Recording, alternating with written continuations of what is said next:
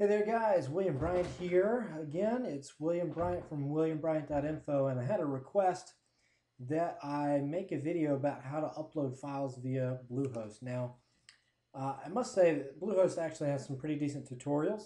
So, uh, one way that you're going to up that you're going to upload files. Uh, let's start out in our files section right here. Um, one way that you can upload files is via FTP. So if you click on FTP accounts here, um, it gives you uh, some logins for FTP. Your default login is going to be your normal, this will be your default login. It'll be whatever your username and password normally is for, um, for Bluehost. And if you get lost, there's a video tutorial right here. Uh, you can click on that and it will open up a uh, video tutorial that'll explain all about how to go about doing a uh, setting up FTP. Now there is one program that I recommend for FTP and it's called uh, FileZilla. Let's see, if you go to FileZilla.com, that's not it. Let's Google it. FileZilla.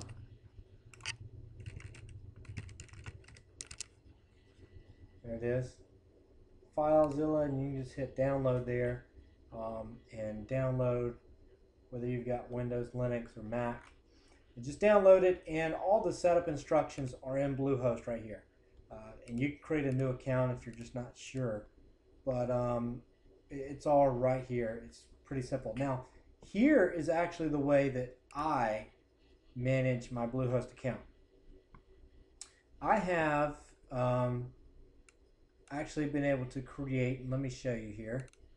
I've been able to create a basically a folder that sits on my desktop that is my complete Word, I'm sorry, my complete Bluehost directory. And um, you can see this is logging into Bluehost right now. Pops up login and I've got a Windows Explorer tab right here and I can I can take files and just drag them and drop them right on in. And it's just that easy. So the way you can do that is actually we'll go back here um, under files you go to web disk and then from web disk you will uh, scroll down here Uh, you'll probably have to create an account first off, um, and you can just create a login uh, just on your main domain there. Create a login like uh, default or admin or whatever you want to create there. Create your password, um, and, and, actually, it, it's going to be your default. You don't even have to create anything there. I'm sorry. It's just going to be your default for Bluehost. Um, just click Access Web Disk. It'll ask what operating system you're using. Um, for me, it's XP. You may be on a Mac, you may be on a Linux, you may be on Windows Vista, whatever. Um, make sure you got secure connection there and hit go.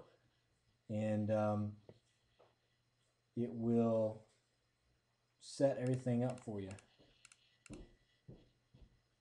So, um, oh, forgot to select there.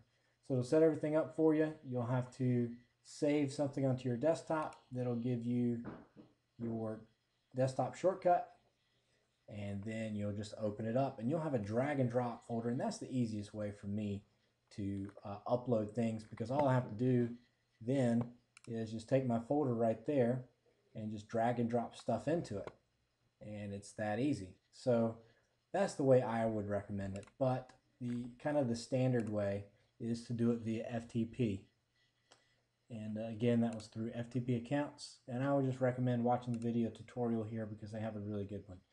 Um, so that has been my recommendation and my how-to on how to upload files to Bluehost. Let me know if you have any further questions or any more videos that I can help you out with. Thanks.